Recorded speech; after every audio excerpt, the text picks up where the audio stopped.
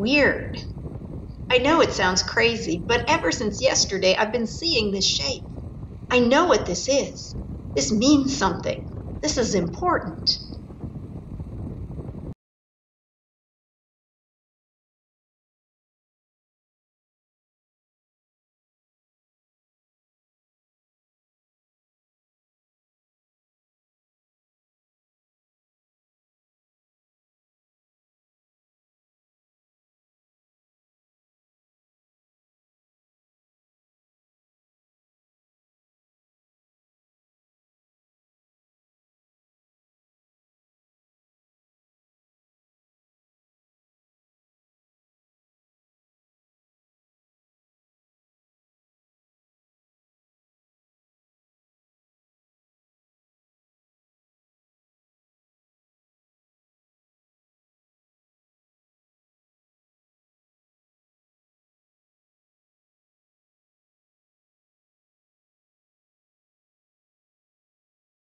This means something.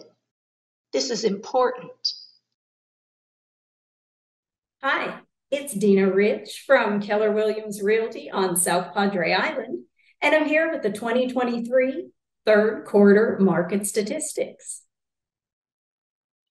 So let's take a look at the 2023 third quarter market data.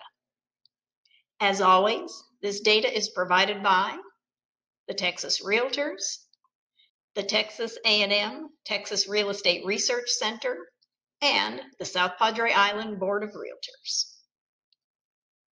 A very telling statistic is months of inventory.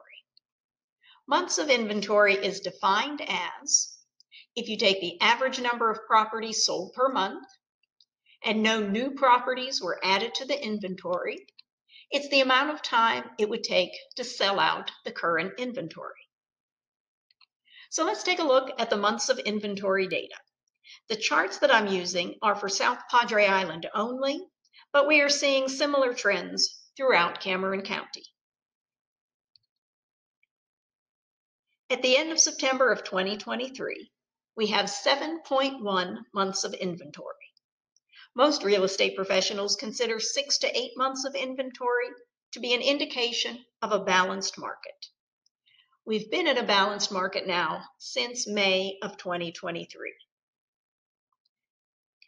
Although we definitely see an upward trend, if we look back in time by quarter to 2020, you can see that it is not the seller's market it was in 2021.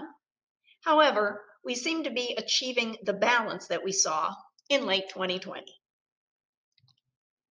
And as we look at the data year by year, you can see we are certainly far from the buyer's market we were in in 2015. Now let's consider the number of active listings.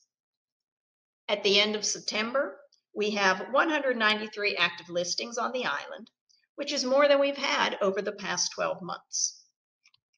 But again, if we look at the bigger picture, quarter by quarter, we're pretty much back to where we were in the latter part of 2020 and we are nowhere near the more than 500 properties we had for sale back in 2015. We're not even up to the level of 2020 yet.